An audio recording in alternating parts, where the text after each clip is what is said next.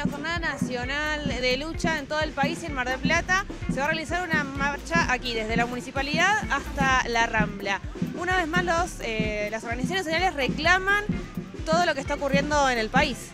Sí, sí, venimos a, plantear al gobierno que necesitamos una agenda seria, ¿no?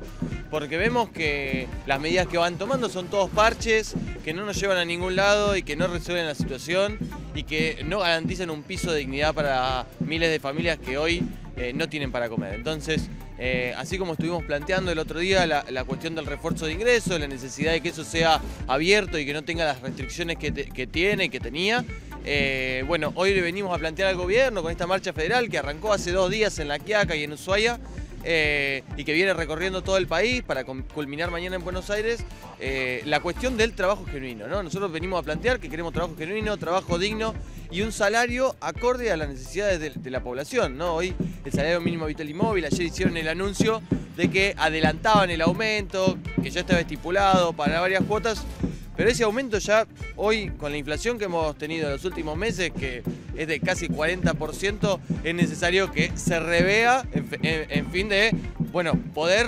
acompañar a la inflación, ¿no? Porque el salario mínimo vital y móvil hoy quedó muy desfasado y hay miles de familias, incluso de trabajadores eh, formales, eh, que, no, que no cuentan, digamos, con el dinero para llegar a fin de mes.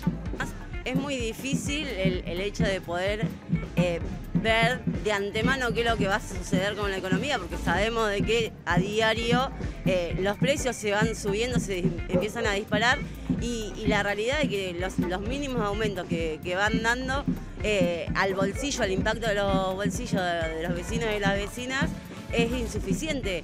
Por esta misma razón de que la misma inflación se va comiendo los aumentos de antemano. Eh, nosotros impulsamos de que se generen políticas acorde a la situación que estamos viviendo y como bien lo mencionaba mi compañero, eh, que no sean solamente parte, sino que se realice unas políticas para transformar la situación que estamos viviendo, pero de fondo.